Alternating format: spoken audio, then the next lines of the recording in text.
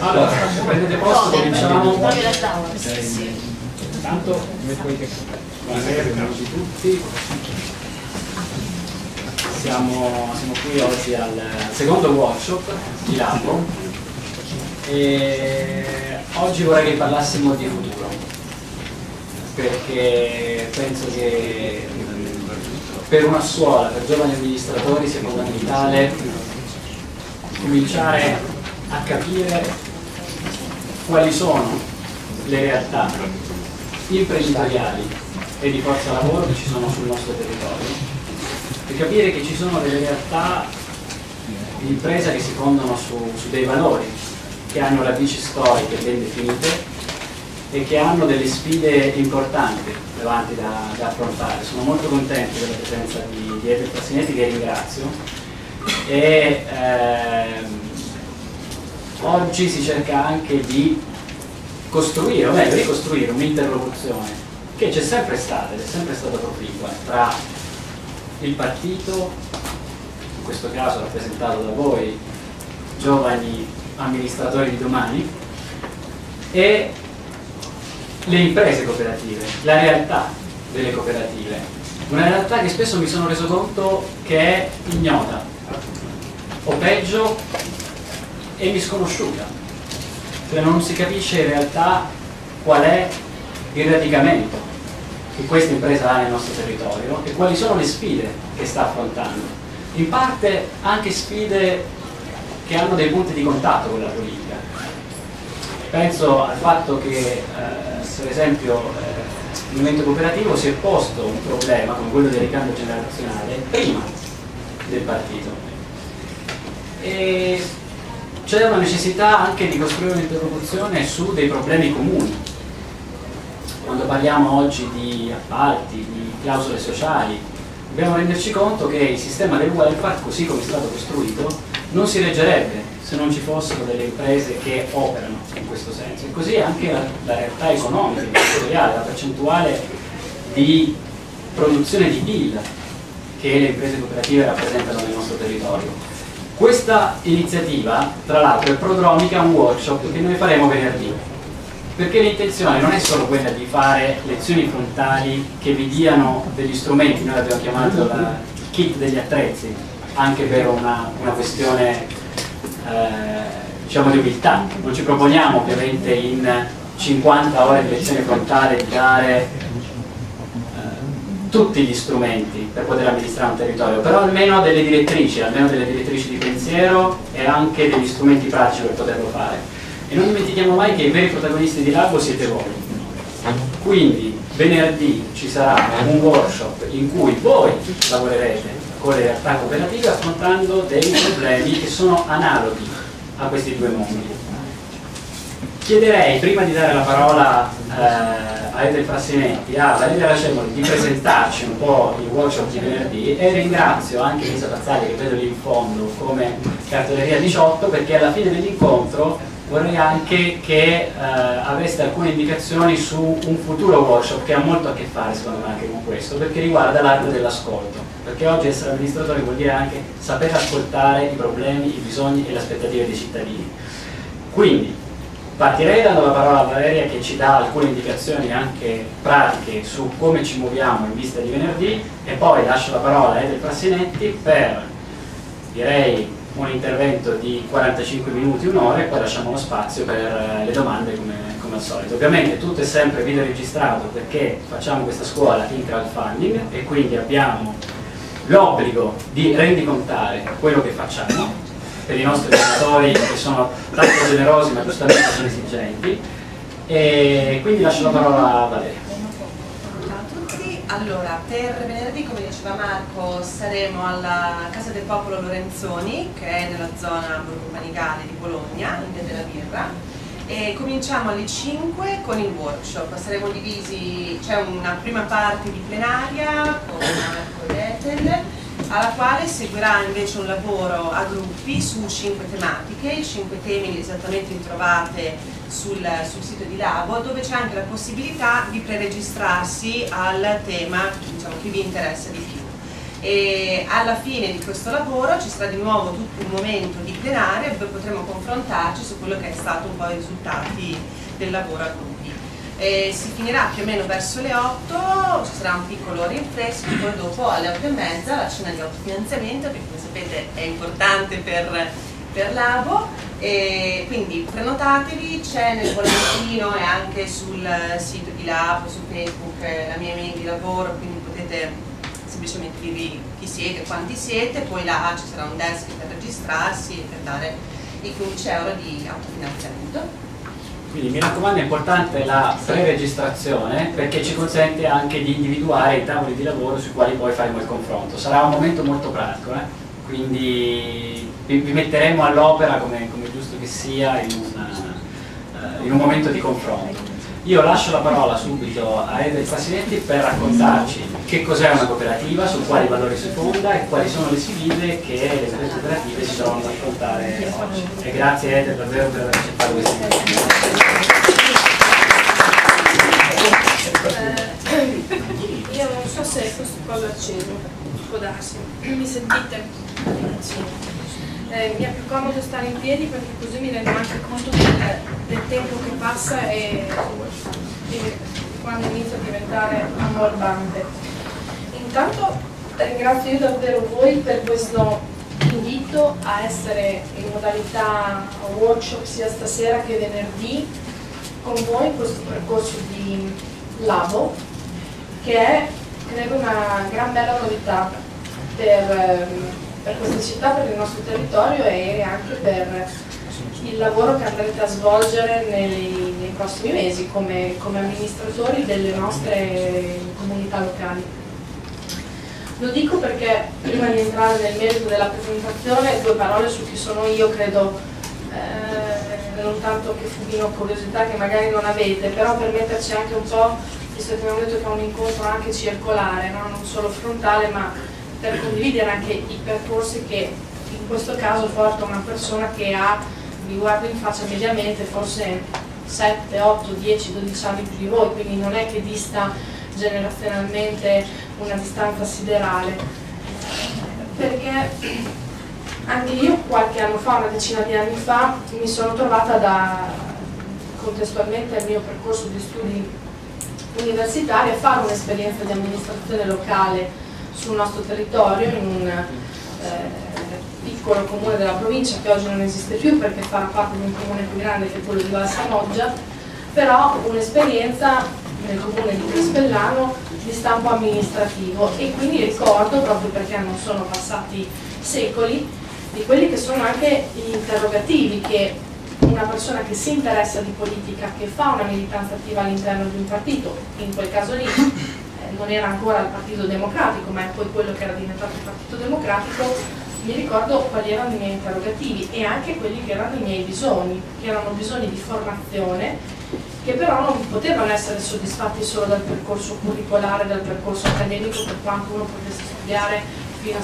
tardi scienze politiche, ma che venivano dal bisogno di conoscenza concreta di quello che era il proprio territorio e quindi sicuramente di vivere la propria comunità, di viverla a diretto contatto dei cittadini, ma di non esserne solo semplicemente una cassa di risonanza, ma una persona che potesse avere tutti gli strumenti per raccogliere i fabbisogni, avere una propria elaborazione personale all'interno dei quadri, dei quadri di riferimento valoriale del proprio partito di riferimento e poi a tradurlo in azione amministrativa e politica.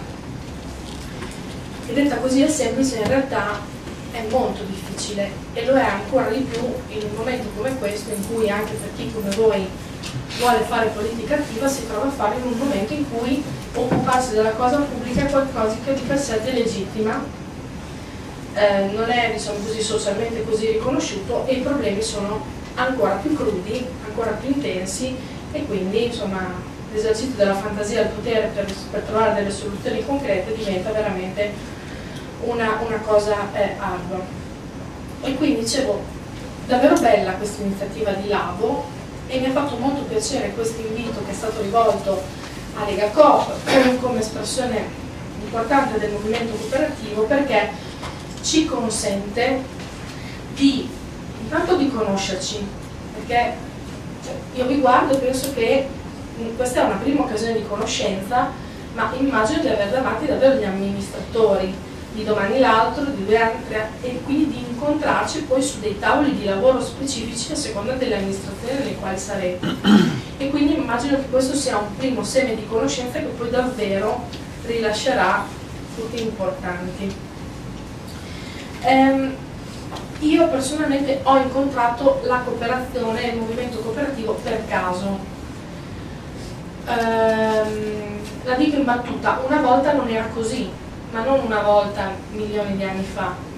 Probabilmente per la generazione dei nostri genitori non era così, perché dopo lo vedremo anche nella presentazione fatta, in Italia la cooperazione ha sempre avuto una specificità di essere molto politicizzata, cosa che non è in nessun altro posto nel mondo e nel mondo ci sono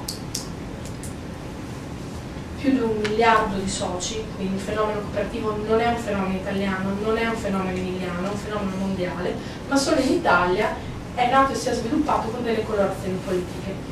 Quindi anche chi ha qualche anno più di noi la cooperazione non la incontrava per caso, perché se la incontrava all'interno di un quadro politico di riferimento.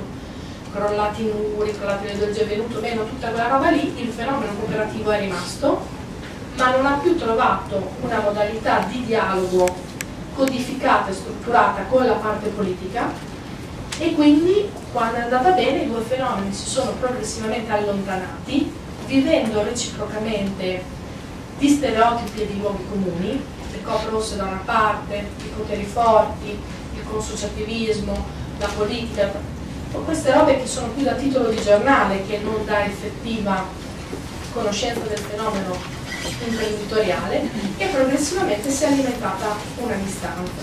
Allora, siccome la politica può essere forte e utile se e solo se conosce davvero il proprio territorio, chi lo abita, chi lo, chi lo vive, chi lo implementa e quindi ne dà una rappresentanza che metta a frutto tutti, quella di stasera è una buona occasione di ricolmare quella distanza che è una distanza non di pregiudizi ma di reale conoscenza dei reciproci fenomeni. Allora, così come ho chiesto il, il, il permesso a, a, a Marco nell'impostazione di queste brevi slide, io partirei proprio da là, senza, ribadisco, ammorbarmi, nel senso che rispettiamo i tempi, però proviamo a ripartire proprio da che cos'è una cooperativa, non dando per scontato che lo sappiamo, anche perché un conto è dire sono nato e cresciuto a Bologna o sono nato e cresciuto da un'altra parte, ma sono arrivata a Bologna per studi, per dinamiche familiari, per altro, e in qualche modo mi sono incrociato in una cooperativa una volta per sbaglio, perché eh, banalmente sono andata a fare la spesa in Coppa Adriatica, avrò preso un taxi, eh, contavo, avrò avuto un'esperienza con una cooperativa sociale, cioè sono andata a mangiare alla CAMS, quindi la cooperazione si incontra tutti i giorni, sapere esattamente che cosa incontriamo non è detto che riusciamo a distinguere la differenza del fenomeno di quell'impresa e quindi dicevo eh, partirei proprio da che cos'è una cooperativa perché immagino che anche nei vostri percorsi di studi siano essi giuridici, economici, di, di scienze politiche, di comunicazione, di formazione, adesso provo a immaginare quali possono essere i singoli percorsi, di solito questa è una parte che si salta. Allora, sì. che cos'è una cooperativa? Allora, una cooperativa è un'associazione autonoma di individui che si uniscono volontariamente per soddisfare i propri bisogni economici, sociali, culturali e le proprie aspirazioni attraverso la creazione di un'impresa di proprietà comune e democraticamente controllata. La parola chiave di questa definizione, che è la definizione che l'Alleanza delle Cooperative Internazionali si è data nel 1985, dopo ne vediamo un po' l'evoluzione storica, dicevo, il cuore di questa definizione è la parola impresa, perché se io da questa definizione togliessi la parola impresa, potrei fermarmi al fatto che la cooperativa è un'associazione. E allora se al posto mio a parlare ci fosse Stefano Brugnara dell'Arci, piuttosto che qualcuno del terzo settore, ragionerebbe sul fatto che persone si mettono insieme volontariamente per conseguire un obiettivo.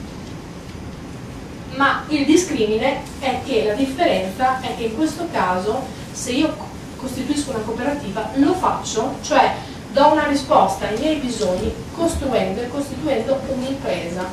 Quindi il sostantivo è la parola impresa e l'aggettivo qualificativo è la parola cooperativa. E dentro l'aggettivo qualificativo, cioè dentro il fatto che ha una cooperativa, che cosa ci sta?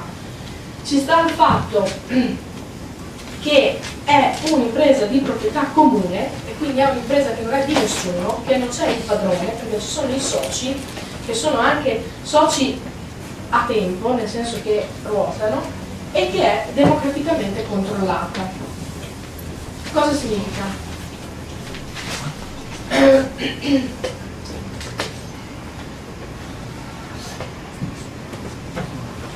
abbiamo detto società di persone, non entriamo nelle tecnicalità, come minimo una cooperativa si costituisce di tre soci, fino a, fino a quanti ci pare. Coppa Adriatica ha 1.200.000 soci. Possiede e gestisce un'impresa, dicevamo prima, un'impresa che nel codice civile, qua sono avvocati in sala quindi non entro in dettagli, se mi danno un 5 subito, ma che giuridicamente è un'impresa che può essere in forma di SRL piuttosto che in altre forme consentite dal nostro codice civile come le altre, quindi ha tutti gli obblighi e tutte le caratteristiche tecniche, giuridiche e societarie dell'impresa. I soci hanno gli stessi diritti e gli stessi doveri, quindi il diritto a partecipare alle decisioni, gli stessi poteri, indipendentemente da quanto capitale hanno investito. Io in una società privata normale, se metto 10 conto per 10, se metto 1 conto per 1, in una cooperativa, indipendentemente da quanto metto, il voto è una testa, un voto. Quindi è la democrazia diretta pura. E l'altra peculiarità è che gli utili della gestione, l'impresa cooperativa fa bilancio se fa utile e auspicabilmente fanno utili perché se no se non fanno utili è un guaio e vanno chiuse le cooperative che non fanno utili. Se fanno utile laddove ci sono questi non vengono sottratti e messe nelle tasche degli azionisti. Cioè se il signor eh, personalità una cosa eh, Flavio Briatore nella sua impresa fa utile legittimamente decide che mm. quell'utile lo mette dove gli pare, non necessariamente lo rimette nella sua azienda per reinvestirlo, può decidere di, di fare quello che gli pare, perché è il suo, no? È il suo, è, è il suo. Gli utili della gestione delle cooperative invece vengono gestiti in modo speciale. Una parte vengono restituiti ai soci sotto forma di ristorno, il ristorno è, dopo lo vediamo, la parte che dice tu socio quanto ti sei impegnato nello scambio mutualistico con la tua cooperativa? Se ti sei impegnato per 10 ti ritornerà 10 facciamo un esempio eh, molto semplice. Prendiamo la cooperazione di consumo prendiamo Copa Adriatica. Se voi siete soci alla fine dell'anno sulla base di quanto scambio avete fatto con la cooperativa cioè quindi di quante volte avete fatto lo scambio d'acquisto con la vostra cooperativa c'è una percentuale di ristorno che vi viene ridata in quanto riconoscimento dello scambio mutualistico che se Valeria ha speso 10 varrà la x di 10 se eh, Michele ha speso 8 varrà l'x di 8 quindi ha una proporzionalità rispetto a quanto avete conferito come soci nell'intensità dello scambio. Un'altra parte degli utili va a riserva indivisibile e quindi viene reinvestita nell'attività della cooperativa questo è fondamentale. I patrimoni intergenerazionali che di esercizio in esercizio, se una cooperativa c'è l'utile, io lo prendo e lo reinvesto nell'attività della cooperativa, perché i soci di oggi devono investire per i soci di domani. E qui c'è il grande tema che secondo me ha un fascino e una modernità che è quello su cui io personalmente mi sono innamorata del mondo cooperativo, cioè il fatto che i soci di oggi investono per i soci di domani. E in un mondo che è prigioniero del pensiero corto e rapace, che quello che c'è, se posso, lo prendo lo porto a casa, dappertutto, e quindi non investiamo neanche più ad esempio il consenso dell'oggi per fare delle scelte coraggiose di domani, il fatto che se oggi faccio utile lo devo investire per un tempo in cui io magari non ci sono più, secondo me ha una, tu Marco prima parlavi di futuro, attualità estrema. Da ultimo, una parte dell'utile va investito con finalità sociali e quindi per quella che si chiama mutualità esterna. Che tipi di cooperative abbiamo? Eh, per qualificare una cooperativa dobbiamo andare a vedere qual è lo scambio mutualistico, cioè chi è il socio e cosa deve conferire il socio. Vi ricordate nella prima slide? Dicevamo i soci si mettono insieme per soddisfare un proprio bisogno, che può essere un bisogno di lavoro, un bisogno di consumo, un bisogno culturale, cioè sono tanti, no? Cioè i soci che si mettono insieme per fare una cooperativa di muratori in quel momento lì hanno bisogno di poter lavorare, hanno bisogno di uno scambio mutualistico di lavoro la cooperativa di consumo si mette insieme perché ha bisogno di poter andare sul mercato a reperire dei beni di consumo al prezzo più conveniente possibile. Quindi in un caso c'è l'oggetto che è lo scambio mutualistico del lavoro, in un altro caso c'è l'utenza. Quindi avremo le cooperative di lavoro, se il socio è un lavoratore e dice mi metto in cooperativa perché ho bisogno di lavorare e voglio lavorare non alle condizioni, dopo lo vedremo a fine 800, che mi fa il padrone, ma a quelle che io penso possono essere le condizioni più convenienti di me sul mercato. La cooperativa d'utenza, qua ad esempio parliamo della coop di consumo, ma parliamo anche delle cooperative d'abitazione, persone che si sono messe insieme e se andrete a fare gli amministratori sul vostro territorio vi troverete schiere di patrimoni immobiliari di cooperative Coop Risanamento, Coop Dotta, Coop Murri, Coop Ansaloni potrebbero essere nomi che vi dicono qualcosa la Coop Risanamento ha fatto l'altro giorno 130 anni di vita tra i soci fondatori Giuseppe Mazzini e eh, Giuseppe Garibaldi, tra i soci fondatori a Bologna. Le famose società operaie di mutuo soccorso che per dare accesso alla casa alle fasce popolari hanno costruito cooperative di abitazione. E anche qui bisogna di utenza, no? non della spesa ma della casa, ho un bisogno di acquisto, un bisogno di consumo non voglio le condizioni che mi fa il mercato dove se io vado nel mercato uno il mercato ha una condizione sfavorevole, mi metto insieme. Poi le cooperative di supporto sono cooperative dove i soci sono lavoratori autonomi e conferiscono i prodotti. Pensate a tutta la cooperazione agricola, la cooperazione dove il conferimento è del piccolo contadino che ha un appezzamento di terra e se va al mercato da solo col suo prodotto non glielo eh, eh, riconosce, si mette in cooperativa, le cooperative del lattiero caseario, de, del conferimento di prodotto, della valorizzazione di prodotto. Qui abbiamo i più grandi gruppi cooperativi.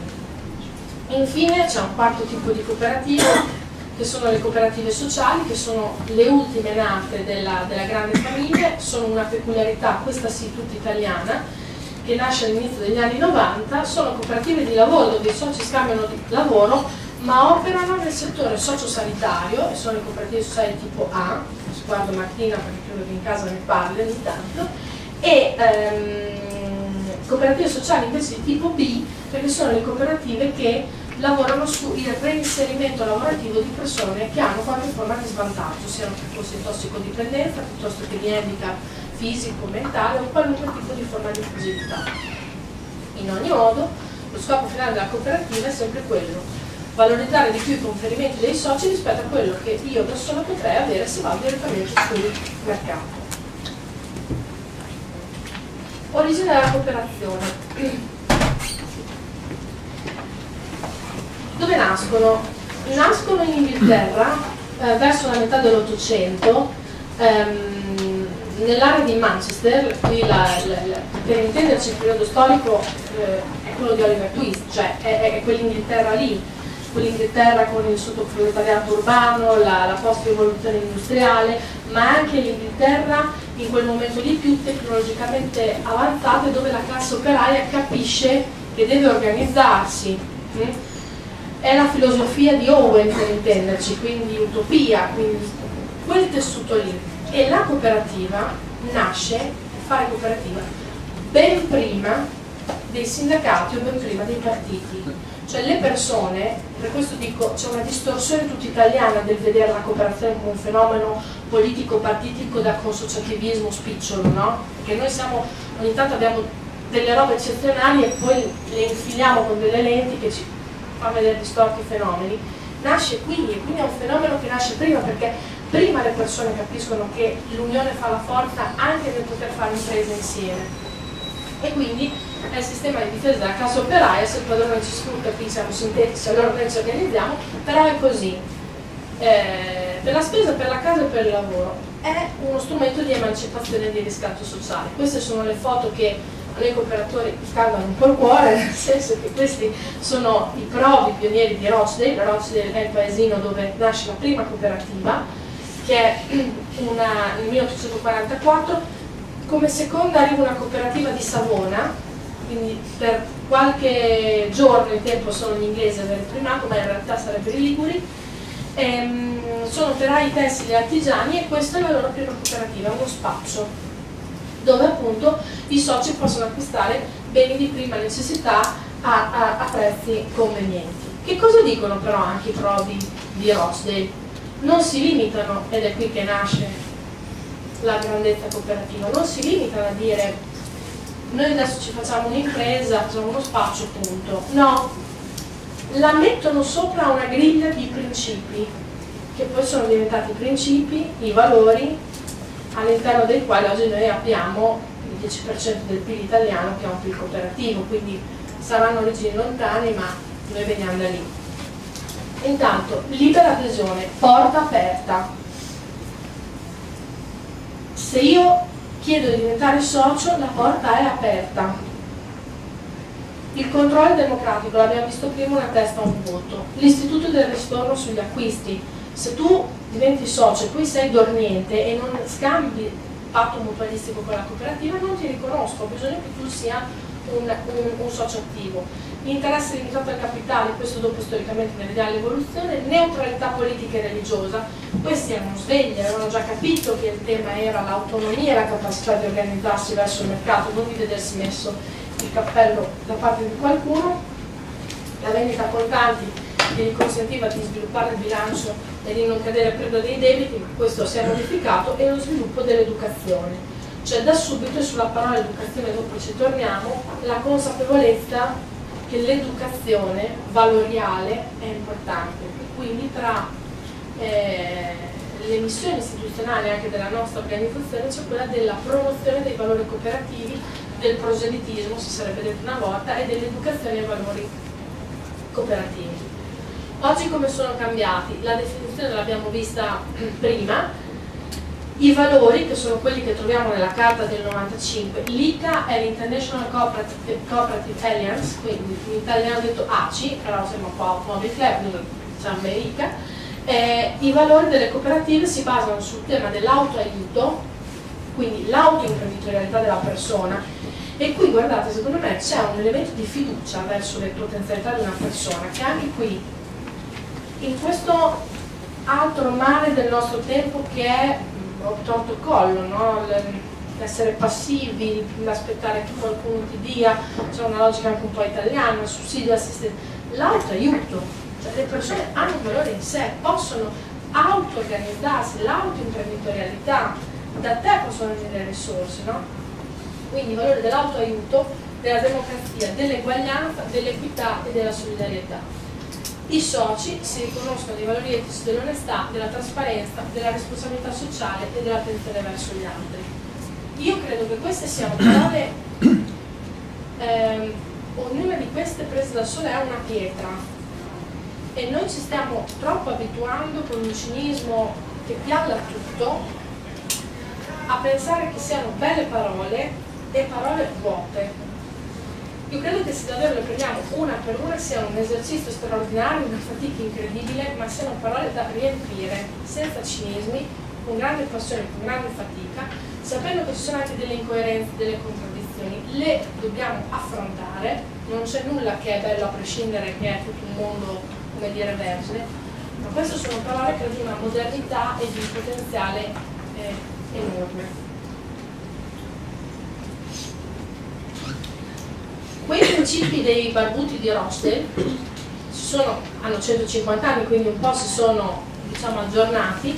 Come vedete è rimasta l'adesione libera e volontaria, il controllo democratico, la partecipazione economica dei soci, era quello che prima era eh, l'interesse. No? Che cosa vuol dire? Vuol dire che se io ci credo nella mia cooperativa, devo avere una partecipazione economica. Poi a seconda di com'è lo, lo, scambio e l'intensità del patto mutualistico avrò una commisurazione, per diventare socio di Coppa Adriatica bastano 25 euro, è uno scambio della spesa, scusatemi il termine, se è una cooperativa di lavoro dove dire, è più articolato, ci sono quote che hanno anche intensità diverse. Quella che era la neutralità politica e religiosa è diventata l'autonomia e l'indipendenza, anche perché soprattutto in Italia il tema religioso era un tema politico, il principio dell'educazione della formazione e dell'informazione verso i soci è rimasto, è stato rafforzato e il sesto principio che ha un potenziale enorme e che se dovessi tradurvelo in maniera giornalistica all'oggi, qua io ci scriverei FICO, Fabbrica Italia Contadina, è la cooperazione tra cooperative.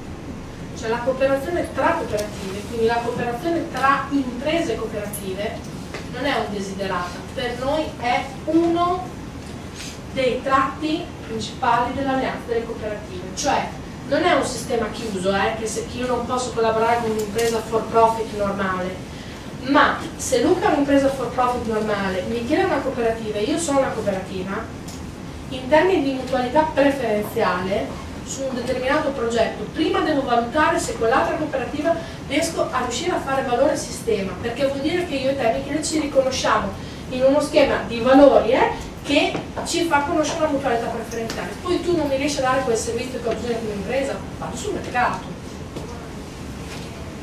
In Italia um, si sviluppa impetuosamente come nel resto d'Europa, la particolarità che vado un po' veloce è che da noi è soprattutto una cooperazione di lavoro, soprattutto in questa terra, eh, andate indietro un po' con, con, la memoria, questa è una terra eh, Vercianti è una terra di lavori eh, umili, è una terra di, di lavoro. E quindi qui nasce la cooperazione di lavoro sia agricola che eh, de, de, de, delle costruzioni che del terziario. Quindi qui nasce soprattutto questo tipo di esperienza. Poi all'inizio del Novecento arriva anche il grande attivismo da parte dei sindacati degli operai che promuovono direttamente la costituzione delle cooperative, soprattutto tra i braccianti del campane, sempre come un elemento di emancipazione. Nell'86 dell'Ottocento nasce la Lega delle Cooperative, eh, il governo Giolitti, nella sua stagione ricorderete quando Giolitti disse la famosa frase che per governare l'Italia bisognava fare l'abito al gobbo, no? Ecco, siamo ancora lì. Ehm, lui favorisce lo sviluppo della cooperazione perché li ammette agli appalti dei lavori pubblici, cosa che prima ovviamente era bandita, perché poi iniziano a essere le cooperative dei sediziosi socialisti e comunisti da tenere fuori da tutto. Ovviamente il fascismo penalizza la cooperazione, la prova a, eh, come, come, ha fatto poi il fascismo nel nostro paese, non a eliminare ma a fascistizzare, quindi a interiorizzare per neutralizzare, per anestetizzare, scioglie la Lega, non scioglie il cooperativo ma scioglie la Lega e istituisce un organismo eh, statale. Dopo la seconda guerra mondiale si ricostituiscono tutte le associazioni cooperative e qui nel 1945 quando nasce tutto il tripartito no, in Italia, i rossi, quelli, e i verdi, i bianchi, anche le centrali cooperative diventano, così come i tre sindacati, così come le tre centrali dei commercianti, così come, così come, la Lega Coop rossa, quindi di ispirazione comunista e socialista, la Conf Cooperative di ispirazione cattolica e l'Associazione Generale AGC di ispirazione laica e repubblicana che ovviamente come immaginata ha la sua forza principale nella Romagna dell'Edera e quindi dei partiti liberali e repubblicani. Voi sapete che questa roba qua per noi che siamo nati da voi non so molto in là, però insomma anch'io mi ci metto ancora in quelli non proprio eh, Bacucchi, cioè sembra una roba anacronistica. Per oggi i giornali fanno ancora i titoli con le copie rosse. Mm? Allora, secondo me è facile perché in otto caratteri ci sta il titolo, però cioè, per togliersi di dosso questi schemi che vengono davvero dalla seconda guerra mondiale, noi facciamo molta fatica, ma in realtà sappiamo che esistono ancora delle reminiscenze di, di, di queste logiche. Qual è stato il passo da giganti che noi abbiamo fatto? E in questo siamo arrivati molto dopo all'esperimento che il Partito Democratico ha fatto di eh, messa insieme no, delle varie eh, famiglie politiche, quella appunto riformista, laica e quella eh, cattolica, eccetera, eccetera. Partito Democratico è partito prima, noi siamo arrivati dopo, ma eh, ci siamo arrivati convinti e oggi è nata, sta nascendo, è nata, sta crescendo l'Alleanza delle Cooperative Italiane, ACI, che è il coordinamento stabile tra queste tre forze, quindi Lega Coop, Cons Cooperative e AGC, che ha l'obiettivo di essere la centrale unica di rappresentanza delle imprese cooperative in Italia, punto, senza colori. Questa roba qui avviene in tutto il mondo, cioè se uno va in Francia e dice rosse, verdi, bianche, o va in Germania, guarda cosa, quindi anche nella capacità di rappresentanza dei nostri interessi cooperativi, per dire a Bruxelles, visto che siamo anche in odore di europee, noi siamo molto più deboli nel rappresentare, perché prima va l'acqua della Lega, poi arriva uno di Conf, poi arriva uno della GC, e magari in tre siete uno, no? Arriva il francese, eh, arriviamo anche noi, questo però è un passo storico. Passaggio fondamentale invece in Italia, questo è un premesso, io sono ancora convinta che noi abbiamo anche qui al bando all'incinismo una delle carte costituzionali più belle eh, tra quelle delle democrazie compiute. E eh, anche qui l'ho detto in premessa, sono innamorato del movimento cooperativo, quindi è chiaro che questo per me è particolarmente importante, ma oltre agli articoli fondamentali che tutti conosciamo, anche quando la nostra Costituzione tratteggia la parte dell'economia, lo fa con una lungimiranza e con un'idea di pluralismo delle varie forme imprenditoriali che non era banale nel 1945, quindi riconosce davvero tutte le forme di impresa. Oggi che invece noi vediamo i disastri del pensiero economico unico. Eh? E quindi la Costituzione riconosce, cioè la, la Repubblica riconosce la funzione sociale della cooperazione, la funzione sociale della cooperazione, dentro la funzione sociale c'è quella roba che dicevamo prima, cioè la libera organizzazione di cittadini che si mettono insieme attraverso un'impresa e democraticamente controllano il loro agire economico. La riconosce perché dice ha carattere di mutualità e non ha fini di speculazione privata. Non dice che la speculazione privata è una roba che non va bene, eh? la speculazione privata è una roba legittima. Dice che la forma cooperativa non è quella e siccome ha un carattere di mutualità io Repubblica te la riconosco e ne promuovo lo sviluppo. Da qui l'annoso tema della fiscalità cooperativa e ve la metto per iscritto una gran balla, che le cooperative non pagano le tasse, ma una gran balla, perché una cooperativa può eludere le tasse come può fare un'impresa privata, ma il tema qual è? È che su quella parte di utile che prima vi dicevo, creatore compra lo yacht, la cooperativa lo reinveste, su quella parte di utile che io reinvesto. Non pago le tasse come se le paga il creatore, perché le metto a reinvestimento.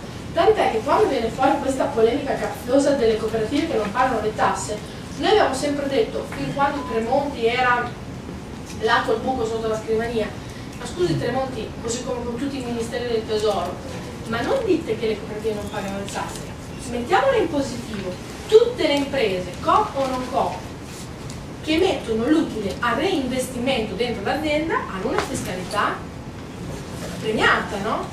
Cioè il punto non è se sei COP o se non sei COP, è cosa ne fai di quell'utile. Se quell'utile lo rimette a reinvestimento, lì scatta una agevolazione eh, della Cassazione. Eh, va bene. Il 2012 è stato l'anno, eccolo qui, mm, delle, è stato l'anno internazionale della cooperazione e le parole di Ban Ki-moon sono le cooperative ricordano alla comunità internazionale che è possibile perseguire l'efficienza economica e la responsabilità sociale insieme. Guardate, io la più grande aspettativa che nutro, non verso l'ABO, ma verso ehm, chi è nato negli anni 80 e negli anni 90, è che con la dimensione internazionale, europea prima, internazionale di tutti i fenomeni, non ve lo poniate neanche come opzione, è così punto, perché noi se no di provincialismo moriamo, eh? Cioè, il fatto che, io lo vedo anche nel mio lavoro, eh, se poi uno è abituato a stare tra Modena, Reggio e Bologna, sta poi tra Modena, Reggio e Bologna.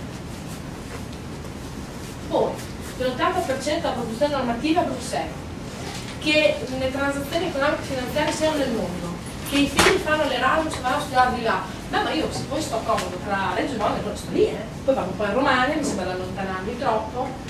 Allora, questa è una provocazione, ma mica tanto, ma mica tanto.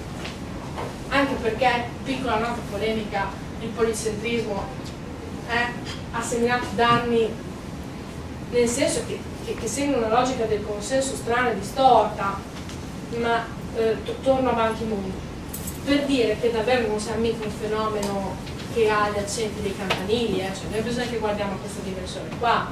Allora, se il 2012 l'anno internazionale delle cooperative e se qui ci dicono perché è così che è, che è possibile non fare della solidarietà pelosa, cioè il tema non è che la cooperativa è l'impresa, faccio dei grandi utili da parte di provocazione di Stato, faccio l'ENI, faccio l'ENE, faccio i due della Madonna, picchio in testa al consumatore e poi faccio la fondazione nel cuore, faccio la di filantropia, non è così, eh? Cioè, la cooperativa per esempio la sua responsabilità sociale d'impresa la mette in campo mentre fa l'impresa, non è che fa la solidarietà di Natale, quella si chiama liberalità che è legittima, ma è un'altra cosa, cioè è un'altra cosa. Quindi è possibile fare impresa, farla con un'efficienza e una sostenibilità economica e farla con responsabilità sociale. Per intenderci, ehm, cioè io non sono sicura che se dico a un collega cooperatore nato negli anni 50 che vive tra Campo Galliano o a Russiche, il mondo cooperativo questa roba qua lo sappia subito. Perché? Beh, insomma, poi c'è l'Emilia Romagna che è il centro del mondo, no? Non è che qui termini di provocazione, poi sono le 8, quindi sono quasi fuori dall'orario di lavoro, quindi eh, nessuno riporterà che il direttore della Lega di c'è quella roba lì che resiste invece. Però per dire, le imprese cooperative sono un fenomeno mondiale, mondiale, ci sono 800 milioni di soci nel mondo. Le Nazioni Unite hanno valutato nel 1994 che la vita di quasi 3 miliardi di persone, quindi metà della popolazione, è stata resa più sicura tramite l'impresa cooperativa. Quei principi che abbiamo visto prima valgono per la COP adriatica come per la COP dell'Esoto, come per la COP che sta a Kansas City, eh?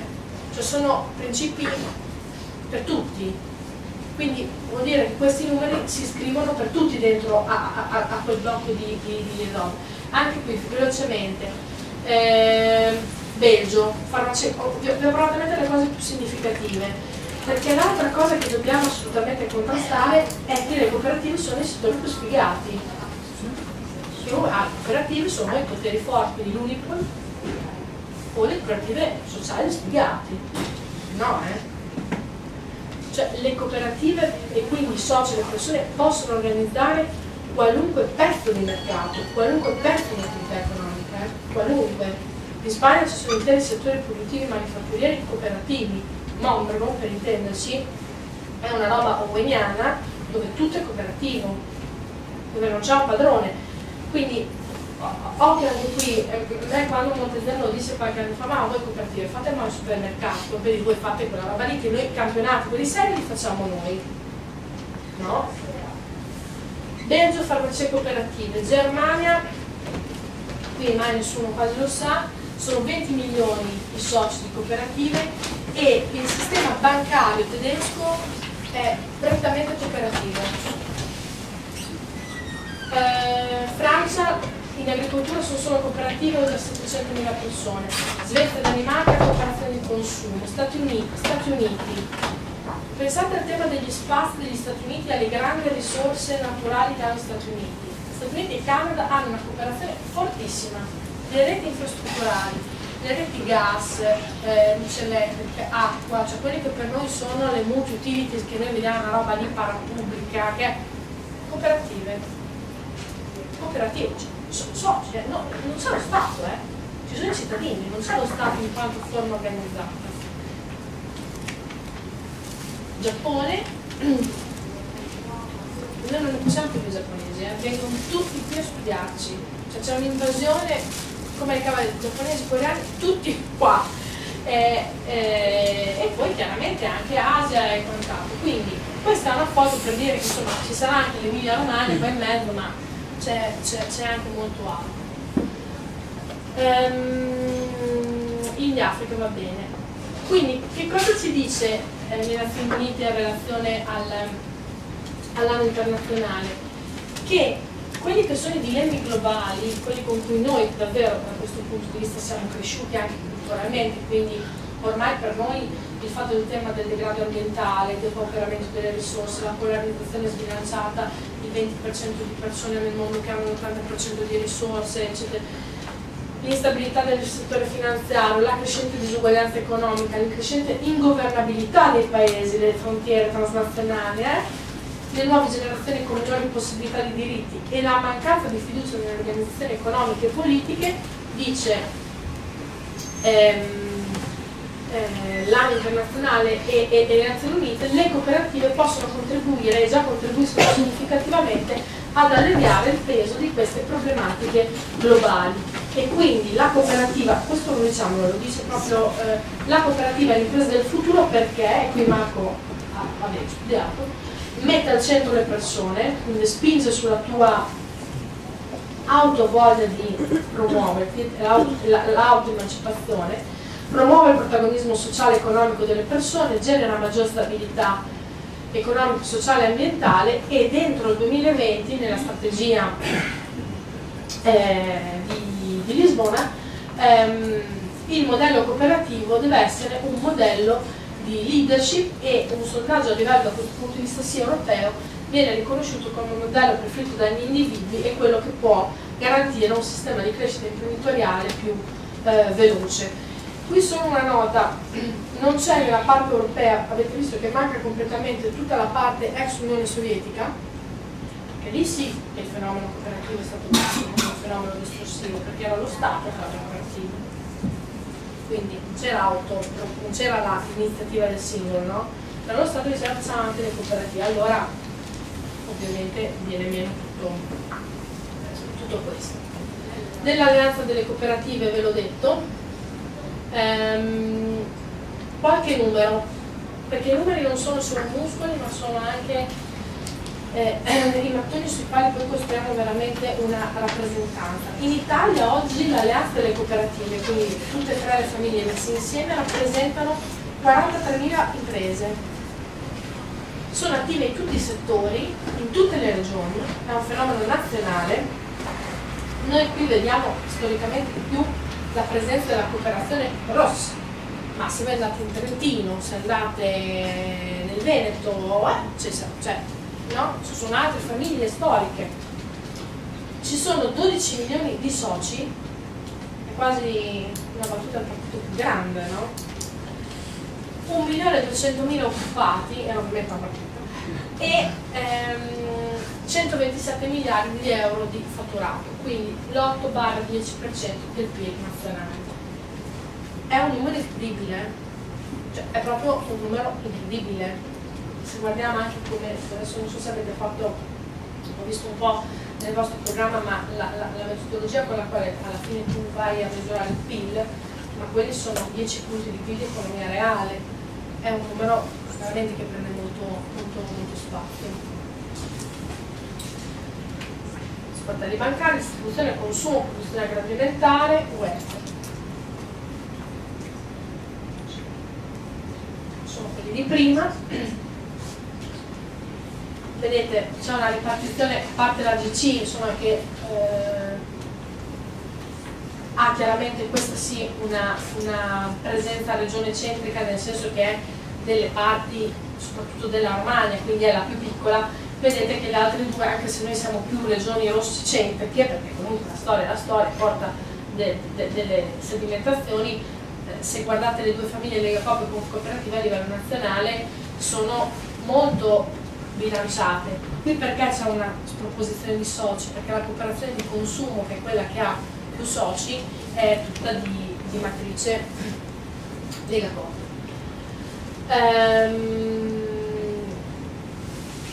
Due parole sull'Egacop, siamo articolati da questo punto di vista, sì, così come tutti i corpi intermedi, noi siamo un corpo intermedio e quindi abbiamo una strutturazione che è molto simile anche a quella dei, dei partiti, eh, a quella dei sindacati, quindi hai sia delle organizzazioni come è verticale nel territorio, comunque insomma nazionale, regionale provinciale e poi eh, settoriale, no? E quindi eh, le cooperative di consumatori, le cooperative agroalimentari, le cooperative di abitanti, le cooperative di dettaglianti, per intenderci il CONAD, le cooperative di produzione lavoro, quelle dei servizi, quelle della pesca, le cooperative dei media, mm, pensate che praticamente tutti i giornali sono editati, sia, siano esse testate cartacee o online, da cooperative di giornalisti, quindi Mediaco, le cooperative sociali e le cooperative che operano nel turismo. Questo non mi interessa, questi sono i loghi che vi dicevo prima, quindi i vari settori, che sono importanti anche perché voi immaginate che siccome tra, nostre, mh, eh, tra i nostri compiti c'è quello di fare anche qui, proviamo a sdoganare in termini positivi un termine che è quello della lobby. Perché dico sdoganare in termini positivi? Perché noi ci vediamo sempre all'italiano ritratti di opacità, no? Ma se tu sei un corpo sociale intermedio, così come sei un partito, se ci togliamo gli occhi della distorsione e, e, e in maniera trasparente di contenuti provi a rappresentare gli interessi dei tuoi associati e o in questo caso dei, dei tuoi elettori, lo fai in maniera trasparente all'interno delle regole del gioco, non solo non c'è nulla di male, ma io voglio sapere, tu nel momento in cui ti candidi o io nel momento in cui rappresento delle cooperative, che maglietta ho e quindi che interlocutore hai davanti, no? Allora, da questo punto di vista, siccome anche tutto il tema dei ministeri, della produzione normativa, eh, a tutti i livelli, è chiaramente settoriale, è importante che ci sia anche un'organizzazione settoriale. Banalmente, nel momento in cui l'anno scorso viene fuori, diamo una roba nazionale, il tema dei termini di pagamento tra fornitori e clienti, in cui c'è questa annosa questione dei, dei pagamenti in ritardo, dei pagamenti non partono mai, noi qui dentro abbiamo Lega Coop Agroalimentare, dove ci sono le cooperative agricole, che rispetto a Coop e a Conad gli forniscono i prodotti. Quindi questi sono fornitori.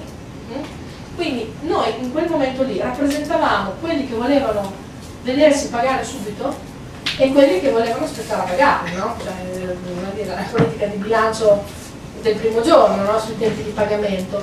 Cioè, è importante sapere quali sono gli interessi che sono dietro.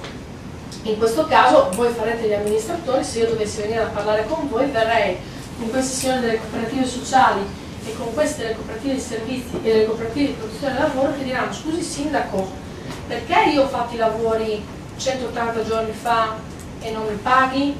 Sto, sto banalizzando, ma non troppo, eh? però è importante che sia che sia chiaro qual è l'interesse che in quel momento devo rappresentare. Allora l'organizzazione per settori ci consente anche di essere molto leggibili, molto leggibili anche dal nostro interlocutore, soprattutto amministrativo. Noi abbiamo un sacco di strutture di sistema, il lavoro, la formazione, ma questa insomma non, abbiamo Ecco, una cosa interessante su, sulla quale mi soffermo, anche perché anche qui, pillola di iniezione di fiducia. Noi italiani siamo siamo italiani, siamo raffazzonati, siamo molto spesso casuali, siamo un po' alla garibaldina, siamo incidentali, ma quando le becchiamo a volte facciamo delle robe straordinarie. Nel 92, al di là della mazzata della, della, della finanziaria, è uscita una legge, che è la legge 59, che per me è particolarmente importante, in cui per legge si dice, bene, le cooperative non solo reinvestono gli utili, il ragionamento che abbiamo fatto prima, no? nello sviluppo di nuova cooperazione, di, di, di, di, nuovi investimenti, ma io per legge ti dico a voi cooperative che sull'utile che fate dovete mettere un 3% secco di quell'utile lì, un 3% secco in un fondo che gestite voi, ma ve lo dico io per legge volete fare, per sviluppare nuove cooperative, per fare promozione cooperativa. E quindi è la legge che ti dice di fare un fondo mutualistico, che ci vengono a studiare in tutto il mondo, che per noi si chiama COPFON, dove A questo fondo tutti gli anni quando le imprese chiudono i bilanci gli arriva sul conto corrente il 3% degli utili di tutte le imprese, che non è poca cosa, eh? che eh, se Coop Costruzioni quest'anno chiude con eh, non lo so. Eh, non lo so. Eh, se, se, dovessi chiudere inutile, eh,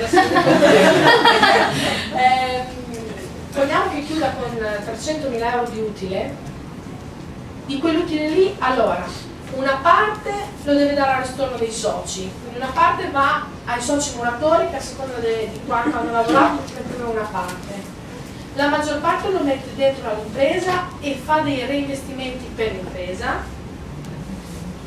Il 3% lo mette nel fondo che non torna a costruzioni, eh, ma se la giovane cooperativa di soci XY ha un'idea imprenditoriale, viene in Lega, parla con Luca, se c'è un piano industriale che tiene, si va a CopFond che finanzia quella nuova cooperazione. Ma non è un'iniziativa benefica, cioè lo fa se c'è la sostenibilità economica di, quell'iniziativa lì. Lega Coop siamo noi, eh, qui vado veloce perché sennò poi è troppo lunga, a Bologna sono 204, a volte sono 250, non so esattamente quanti siano, perché sono queste, sono 200 imprese cooperative, sono 50.000 dipendenti ragazzi, cioè se voi pensate, eh, adesso io non so se voi qui siete a maggioranza a Bologna centrica o, o territorio della provincia o un misto, più territorio della provincia, mm,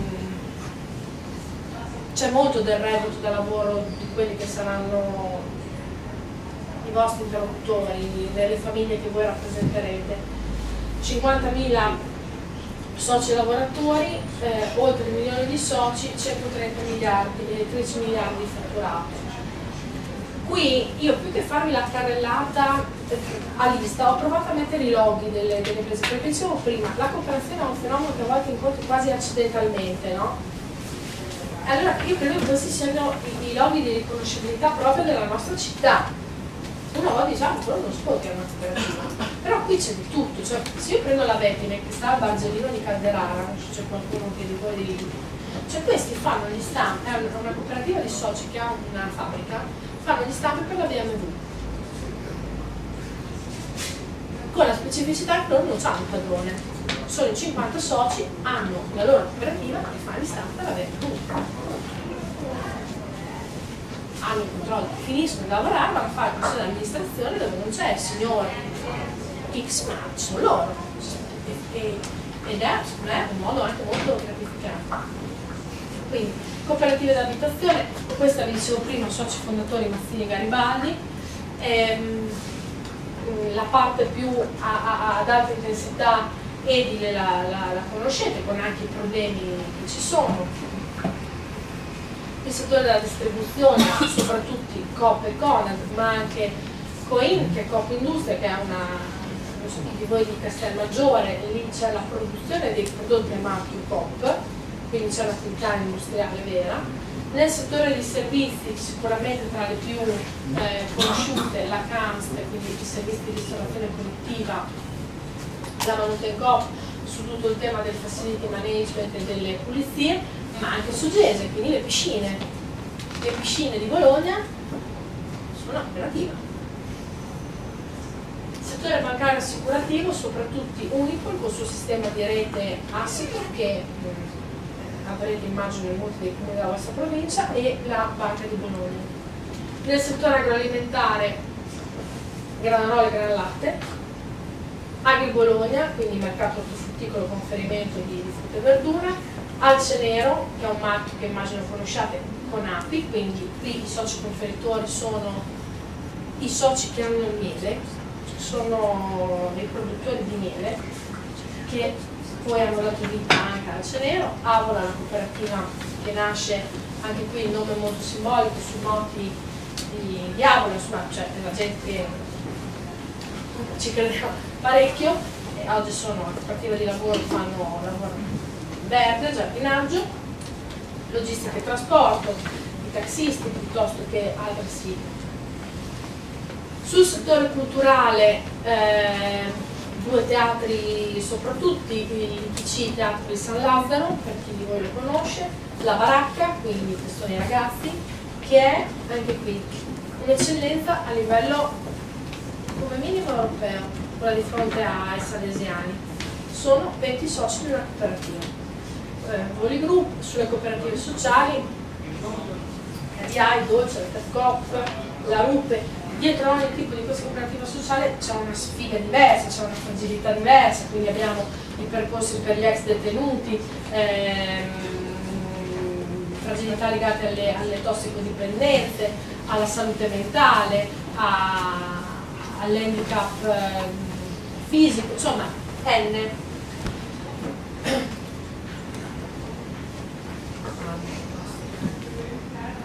Anche qui questa è la, è la slide finisco dell'orgoglio cooperativo delle, delle, prime, delle prime 10 questa fonte è presso il Carlino Proper Water um, eh, House Cooper eh, delle prime 10 imprese di Bologna delle prime 10 8 sono cooperative. L'altra era cioè che è un'impresa insomma poi vediamo e poi eh, Bartolini Corriere Espresso battuta, lo dico in termini muscolari, lo dico perché vuol dire che questi sono valori, indipendentemente dal valore economico. Ragazzi, noi non voglio sembrare crosta, eh, avere sul territorio questi gruppi con le teste e queste dimensioni vuol dire poter essere anche attrattivi per i talenti e per le persone che qui studiano, se no oggi andare a Milano, come in 40 minuti ci vai, cioè noi bisogna che tratteniamo questi, questi centri anche di, eh, di, sedi direzionali qui, eh, cioè è, è, un patrimonio al di là eh, del, del, del, del, valore economico. Um,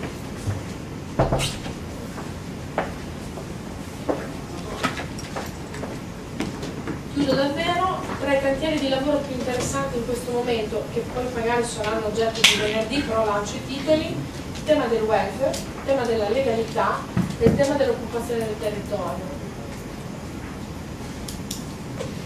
Um, crisi del welfare pubblico, sistemi di welfare nascono per dare all'individuo la protezione che da solo non riuscirebbe ad assicurarsi, um, però magari lo vediamo, adesso cerchiamo solo i titoli, li vediamo venerdì, quindi cooperazione welfare, la legalità, tutto il lavoro che facciamo con l'agenzia Cooperare con Libera Terra, quindi tutto il lavoro, poi so che avete anche un modulo su, sui beni e i patrimoni aziendali confiscati alla, alla criminalità organizzata e da ultimo, dicevo prima, occupazione, soprattutto giovanile in territorio, il progetto che alla stampa è passato con l'acronimo di FICO, quindi Fabbrica Italiana Contadina, ma che sarà Italy World, è un grande progetto di cooperazione tra cooperative e di cooperazione con il territorio se, dico se, come sembra, nel giro di um, 15 mesi ci sarà questa iniziativa a Bologna, io credo sarà una prova eccezionale di come effettivamente mettendo in campo le energie migliori poi si riesca a creare davvero anche opportunità occupazionali, soprattutto giovanile, a breve sul nostro territorio. Io mi fermo qui, ehm, spero di non essere stata troppo lunga. Mm, volevo trasmettervi questo, insomma, eh, il fatto che quando ci si approccia alla cooperazione è meglio spogliarsi di quelle poche nozioni che forse abbiamo perché forse ce ne hanno dati qualcuno con degli occhiali un po' già appannati un po' distorti. In realtà è una cosa che come ho trovato di dire insomma, è molto autentica dal mio punto di vista anche molto appassionante e molto moderna e vale la pena conoscere soprattutto poi per voi che amministrerete vale la pena cambiare parecchio.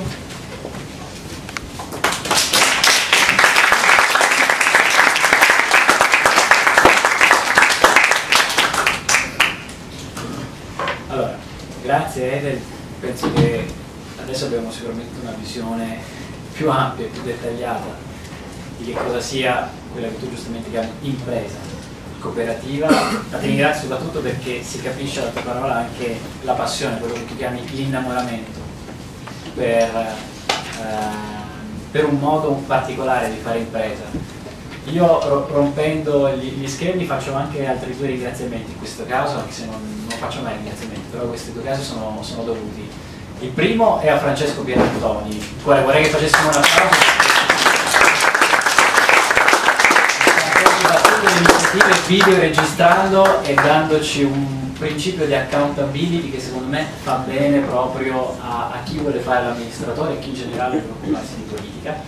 E il secondo ringraziamento è personale a, a Luca Grosso, perché mi ha dato la possibilità di guardare veramente la realtà della cooperativa con gli occhiali, con gli occhiali giusti. Una, una cosa sola per farvi capire quello che diceva prima Eke sulla dimensione internazionale, adesso lui imbarazza, imbarazza diventerò è un classico.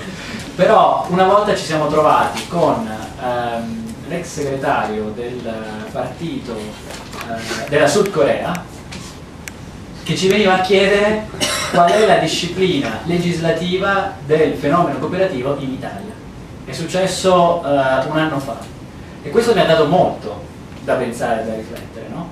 Cioè pensare che c'è una realtà del mondo, che è quella dimensione internazionale che, che ci tratteggiava prima, che viene da noi non più per copiare prodotti, ma per capire regole di funzionamento di una disciplina economica, con finalità sociale che pone al centro la persona, per riproporre e magari adattare un modello di crescita a quella realtà. Ecco, questo è un piccolo esempio per dirvi che cos'è anche il mondo delle cooperative che da qui viene visto anche come un punto di riferimento. Molto di più di quello che l'etichetta, tra virgolette, poteri forti o le visioni giornalistiche possono, possono banalizzare. Io mi fermo qui, ci sono domande eh, per Ete? Francesco. volevo chiedere se sono stati fatti degli studi su come esportare il modello delle cooperative in altre parti dell'Italia. Io in particolare ho, ho dei, dei, parenti della mia ragazza che sono in Puglia e mi sono sempre chiesto come è diverso e come c'è questa difficoltà a legarsi in cooperative. E ho, e ho visto che sono alla mania di diciamo, persone che, che si, si, sfruttano in qualche, qualche, modo. E non ho mai capito il motivo per quale noi ce l'abbiamo e loro non ce l'hanno raccogliamo un po' di, un po di domande così diamo la possibilità.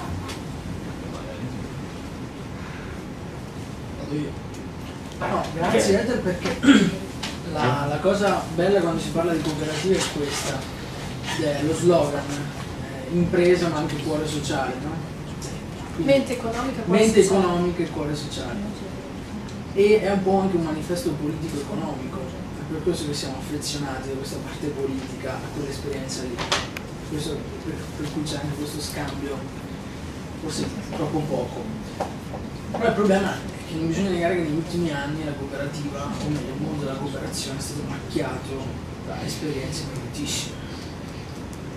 Quindi in realtà mi chiedo e ci chiediamo da cittadini prima che da, da, da, da futuri non so cosa, se eh, dopo l'esperienza a Lampedusa, dopo l'esperienza di, di, di, sfruttamento che alcune cooperative hanno messo in atto, c'è una solidarietà maggiore da parte della Lega Coop cercare di intervenire prima che finisca sui giornali queste cose e quindi un monitoraggio a monte di tutte queste esperienze, perché si dà, eh, passa l'impressione, noi abbiamo l'impressione che nascono solo per vantaggi economici e poi in realtà di tutti questi bei principi la Lega insomma non, non, monitora e quindi quello che dopo accade realmente è che è soltanto uno strumento per, per evitare qualche costo, comunque qualche, qualche costo burocratico, eccetera. Bene, altre domande? Facciamo rispondere a queste e poi se viene qualche futuro un'altra domanda. Ecco. Ah. Allora, rispetto a quello che dicevi tu sui territori, no? Ho capito lo spirito della domanda. Eh, non si correggono le domande, però non direi esportare il modello, perché sai perché? Perché già il fatto che ad esempio noi siamo una regione molto cooperativa, no? ogni volta che andiamo fuori sembra quasi che tu vai sulla colonizzazione di altri territori, danno per scontato una sorta di bisogno che tu devi esprimere tu sai come si fa e quindi vai in Puglia a dire che e quindi dai per scontato che tu hai quello che vince e vai a spiegare. Allora, da questo punto di vista il territorio è la parola chiave, cioè ci sono delle sedimentazioni da questo punto di vista davvero secolari del modo di stare insieme delle comunità che hanno fatto la differenza. Quando prima dicevo il territorio emiliano-romagnolo era un territorio, se pensiamo all'inizio del Novecento, di bonifica, di lavoro, eh, ma anche un territorio molto collettivo, proprio nel DNA di questa regione c'era l'idea del collettivismo. Senza arrivare in Puglia, se io vado già a vedere in Toscana, dove invece la storia è la storia delle città, no? Non è la storia della pianura padana o della romana, è la storia delle città, della competizione tra le città, c'è già un tipo di cooperazione che è una cooperazione molto più spinosa, eh? molto più difficile fare cooperazione tra le città toscane. Se vado a vedere in Sardegna, che è un territorio diffidente, come la Sicilia, sono diffidenti tra di loro e la cooperativa presuppone fiducia, se no tu non la fai. Ehm, la Puglia è una terra, in questo caso, che ultimamente ha riscoperto un bisogno di cooperazione che ha un'esplosione, un'intensità che se io ti dovessi dire qual è la regione che ultimamente ha avuto più slancio cooperativo è la Puglia, soprattutto nell'agroalimentare. Ma non perché qualcuno gliel'ha dato a dire, perché hanno capito che c'erano periodi in grandi gruppi, penso al conferimento del latte, cioè gente che non li pagava, cioè, ma no, adesso sono soci, cioè, e, e ti riprendi in mano un po' il tuo futuro, no? Però da questo punto di vista le caratteristiche del territorio e delle comunità sono, sono fondamentali. Eh, una delle cooperazioni più invidiabili è quella trentina. Se voi andate a prendere per curiosità la storia della cooperazione agricola e delle mele, cioè questi hanno delle mele buonissime, ma cioè, fanno veramente le scarpe al mondo, eh, perché loro hanno capito che la loro forza è stare insieme e hanno un'idea che riesce a travalicare il confine naturale delle valli. Cioè, il consorzio della Melinda, che è un consorzio cooperativo, è un consorzio che ha la leadership mondiale della, della, della valorizzazione della mina.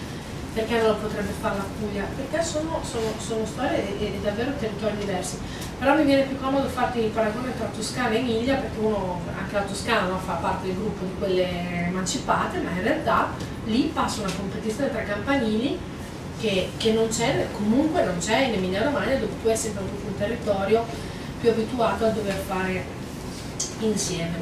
Ehm, L'esperienza che abbiamo fatto sulla promozione di cooperative giovanili sui territori, eh, su, scusate, sui beni confiscati alle mafie è un'esperienza, poi magari quando faremo il modo, insomma Luca vi racconterà anche di più, che è stata in, in prima battuta un'esperienza di allineamento dei linguaggi, cioè mettere a disposizione, la dico così, le competenze in termini di dirigenti cooperativi, di risorse economiche, di persone, di scaffali di Coppa Adriatica, per dire se tu fai il prodotto sul bene confiscato io te lo vendo, per riuscire a capire che era una collaborazione, non una colonizzazione del grande potente nord che arrivava a dare. Ci abbiamo messo tanto tempo no? nel riconoscersi prima come cooperatori con a collaborare, non come adesso dico io ti spiego come si fa, no?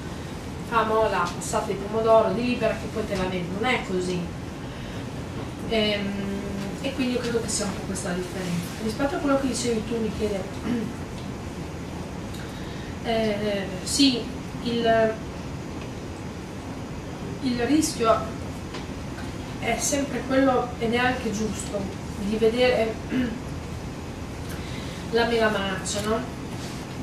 E, ehm, però è un rischio che va corso anche perché bisogna poi sempre stare vigili, soprattutto quando è molto convinti, bisogna sempre avere in testa un grillo parlante che ti fa vedere anche quali sono le possibili terreni di incursione, di contraddizione, quindi bisogna essere molto vigili.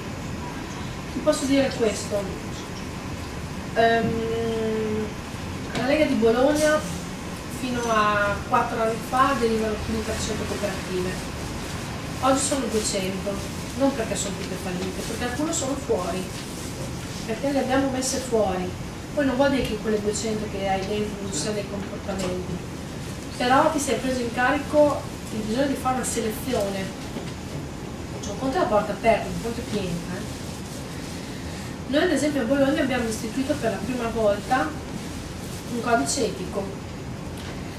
Eh, banalmente, io una mia cooperativa per, per cartellino la difendo, no?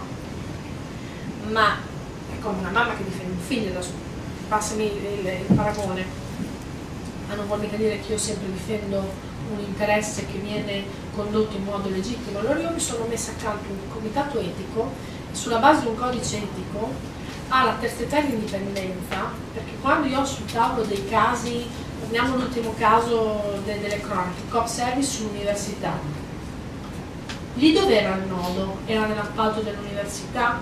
Era nel contratto che aveva firmato il sindacato? Secondo me c'era qualcosa che non andava bene, perché pagare il lavoro così non va bene.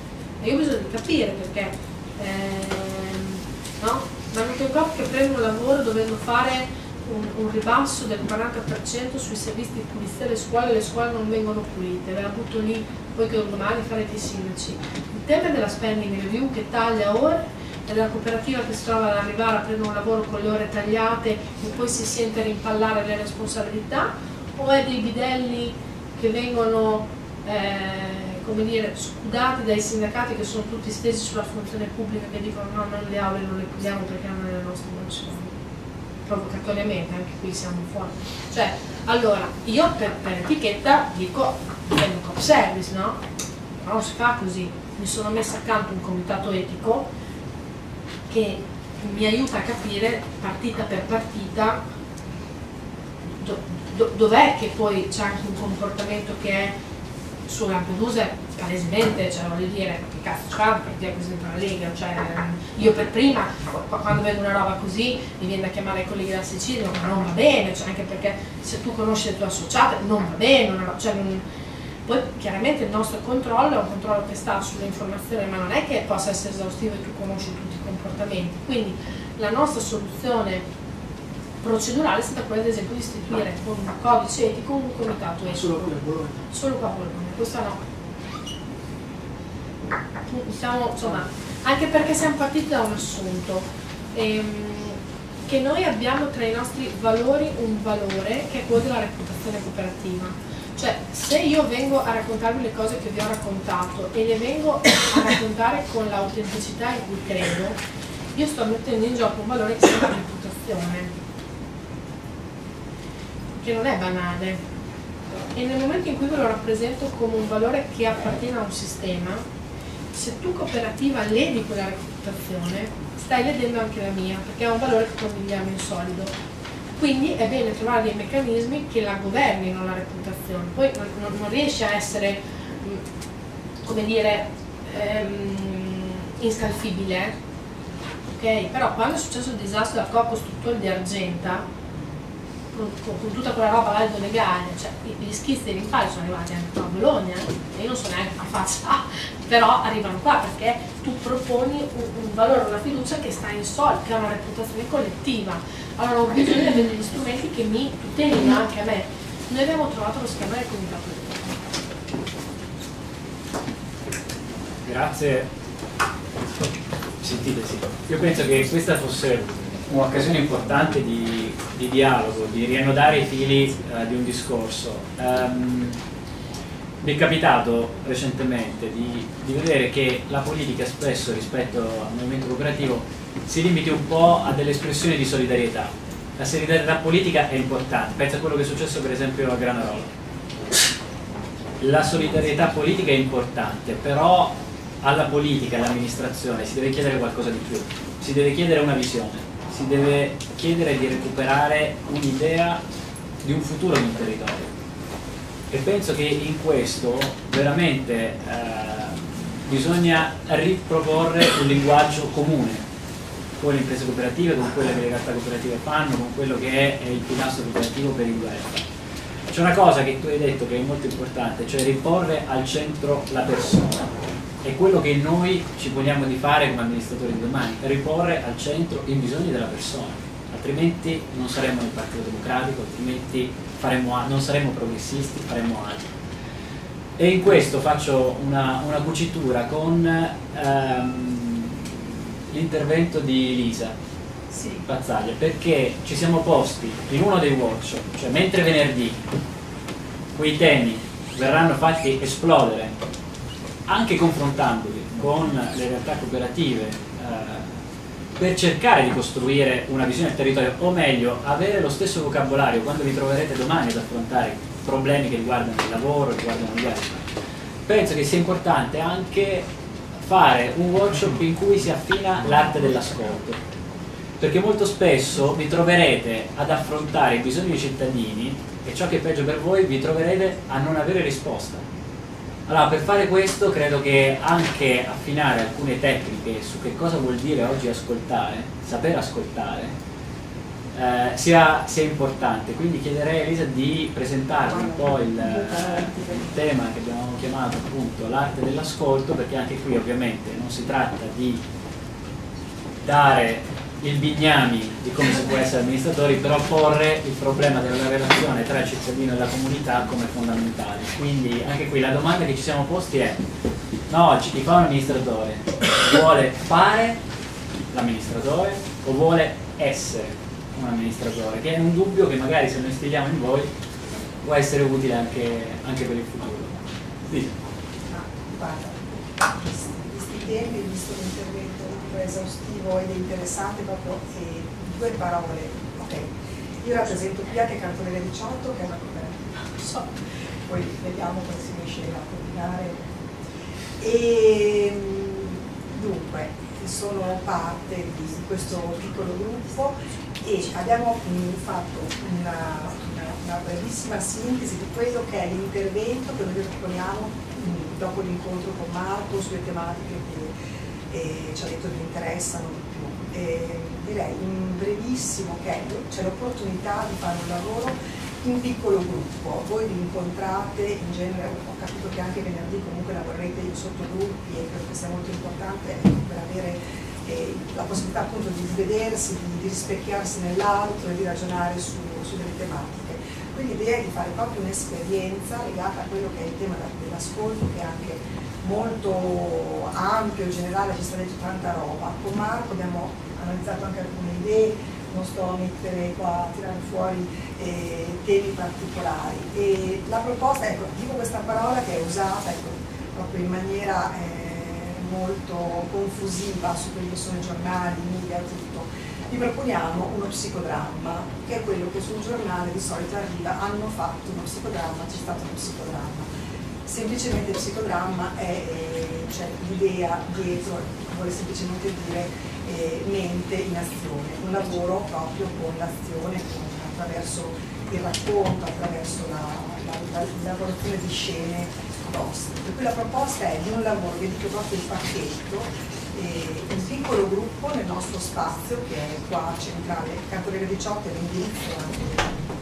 della cooperativa c'è un piccolo teatro psicodramma, la possibilità di lavorarci dentro per un piccolo gruppo e l'idea è di fare un lavoro di tre ore lì e poi dopo una pausa si passa ad un focus group dove creeremo una situazione di incontro reale con realtà associative cooperative, con esponenti proprio della società civile che per un, ancora un gruppo minore di voi, in una situazione di acquario, 4-5 di voi si troveranno a presa diretta a eh, rispondere e a lavorare su dei temi con queste persone e gli altri saranno schiavi acquario, insomma. Per cui direi che è un pacchettino confezionato per un'esperienza eh, che un pochettino di segno lo lascia. Vediamo numericamente, si discuteva con Marco quanto insomma eh, quanti di voi riusciranno a partecipare, quanti saranno interessati, l'iscrizione e, mm, passa sempre attraverso quelli che sono i vostri canali, eccetera, perché anche informazioni più dettagliate e le, arredi, insomma, le, le condivideremo. Parliamo già di un, eh, siamo a un mese oltre perché la proposta è di due date, vediamo se sono necessarie entrambe, il 16 un venerdì e il 17 il sabato di maggio questo, ecco, siamo a, a sì, siamo preparati. E, sì, per cui sì. direi pensiamo, pensiamoci un attimo ma il tema è cioè ci hanno fatto veramente una proposta interessante, secondo me è anche importante che ci sia un'equipe di... Sì, è un'equipe abbastanza variegata. Io, sono, io vengo da, da scienze politiche, sono psicodrammatista, mi occupo di formazione e i miei interventi sono molto trasversali, per cui vado da salute mentale, carcere, Fossombrone, alta sicurezza, e molto lavoro su Fuori di Cesena nella salute mentale e anche lì dei lavori che sono con la Lega, con CESVIP, sull'inclusione sociale e formazione per quello che è eh, corso di coaching, di formazione persone che devono comunque lavorare con il pubblico, coordinare, lavoro molto con anche cooperative che operano nell'ambito del, del, sociale, per cui gli operatori eccetera. Altri colleghi, ci sono degli psicoterapeuti strettamente intesi eccetera. Comunque siamo organizzati in quattro per affrontarvi, per condurvi tutti. Eh, noi abbiamo un'idea, insomma abbiamo composto un pacchetto, poi vediamo che cosa riusciamo a fare insieme, insomma è un segno e c'è un collega laggiù che è Antonio che ha anche questo piccolo, piccola presentazione. Io direi così, intanto grazie, grazie di anche questa presentazione, cioè, eh, apriamo le iscrizioni, così come sono aperte le iscrizioni per venerdì al workshop, per segnarsi anche nei, nei tavoli di lavoro, apriamo anche l'iscrizione per eh, questo quest'altro workshop sull'arte dell'ascolto, vediamo sulla base della vostra richiesta come strutturarvi in questi gruppi che sono focus group e esperienza di, di psicodramma. L'idea, ve lo dico già adesso, sarebbe legarvi a un'esperienza concreta che si verificherà il 25 maggio, data abbastanza particolare, in cui eh, viene fatta a Bologna una cosa molto eh, bella secondo me che si chiama la scarrozzata che è un'esperienza in cui si chiede alle persone di accompagnare eh, ragazzi con, con disabilità e provare l'esperienza della disabilità, anche per mettersi nei panni dell'altro. Siccome presuppone anche un certo lavoro eh, psicologico anche, perché è un'esperienza abbastanza impattante, eh, proviamo a legare questa, questo workshop ha un'attività concreta che riguarda la cittadinanza, quindi non ci sarà nessuna bandiera di partito, lo farete per voi e non, cioè, o per i ragazzi, non per evidentemente una, una qualsiasi iniziativa politica. Quindi se vi interessa mettiamo le, la possibilità di iscriversi sul, sul, sito e poi in base al numero degli iscritti vediamo come dividere i gruppi. Ancora grazie a lei.